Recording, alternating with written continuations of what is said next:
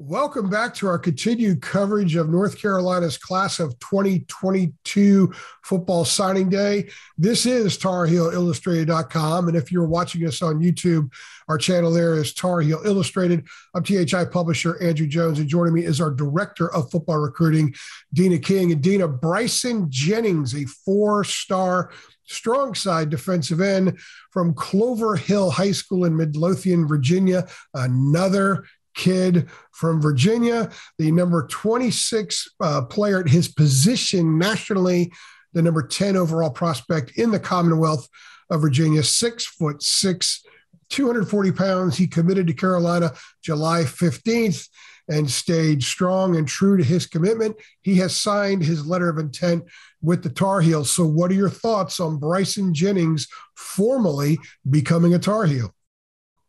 It's like a, a repetitive record.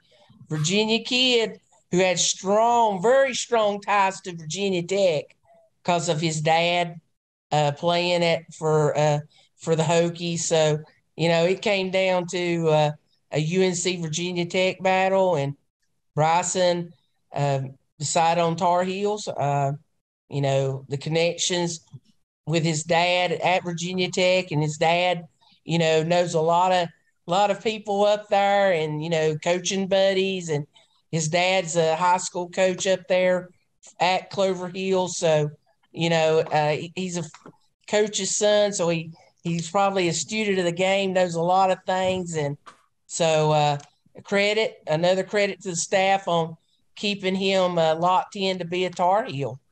Yeah, the coach's son thing is a great point because when you watch a lot of kids that are six six playing on defense in high school, 240 pounds, you have the kind of physique that Bryson Jennings has, they oftentimes just dominate kids and they don't have to use a lot of skill. They don't have to use a lot of fundamentals to be successful. But when you watch his film, you could tell he's been coached up and he and he he's got he's one of these kids that step, when he steps on campus there's a lot of things he's already going to know how to do there won't be a lot of bad habits for the staff to have to break with him yeah and uh you know, he he's coming from that central part of Virginia. We we talked about the Tidewater and the upper um, the Washington D.C. Northern Virginia, but getting a kid from the Richmond central part of that area is huge too. So uh, credit the staff uh, targeting uh, Virginia kids and, and really dominating that state in recruiting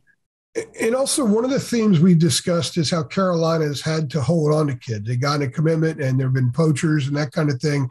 If there was a player, we, we haven't heard a whole lot about possible uh, UNC commits flipping. I know it was a concern a lot of people have, and the team was struggling this year. And we're like, guys, calm down.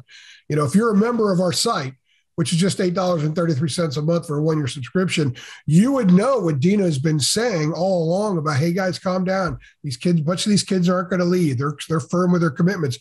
Jennings was one that people were trying to fill our ears with Virginia Tech, Virginia Tech, Virginia Tech. And it's not like the Hokies weren't having a whole mess of problems themselves. And you never bought, you never bought into the possibility that he might leave. Well, um, you know, they got a new staff. So when you get a new staff, it's it's very smart for the staff to reach out to your in-state kids to just see if there were some interest in him being a le- uh, you know a Hokie legacy. I'm sure Coach Pry reached out to uh, uh, Bryson, and you know Bryson has stayed true to the the Tar Heels. Yeah, and when I say leave, I mean leaving his commitment, a little little verbal typo there, if you mm-hmm. will. Bryson Jennings, a four-star strong side defensive end. That's two of them in this class. Again, a lot of big defensive kids in this class. He is from Midlothian, Virginia, and he is the most recent member of Carolina's class of 2022 to sign his name on the dotted line uh, and stay with us because there's going to be more, and we're going to discuss them as each one uh, rolls into the Kenan Football Center. We will have a podcast getting Deana's expertise on each of those young men. She's Deana. I'm AJ. We appreciate you stopping by.